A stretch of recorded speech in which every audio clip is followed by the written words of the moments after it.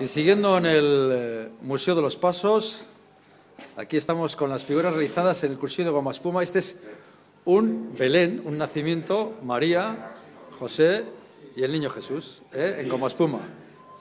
Y si antes veíamos este con luz, este que es también espectacular, el taller de los juguetes, aquí Santa Claus o Papá Noel o como queramos llamarle,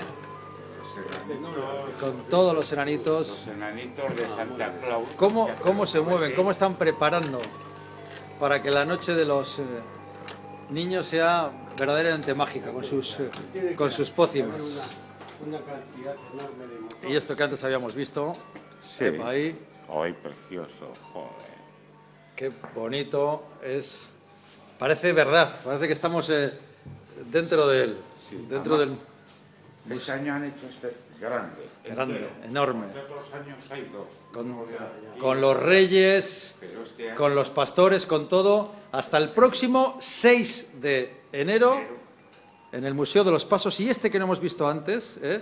si ya en sí el Museo de los Pasos, este que no hemos visto antes, que está hecho con tornillería. ¿eh? Aquí le podemos ver.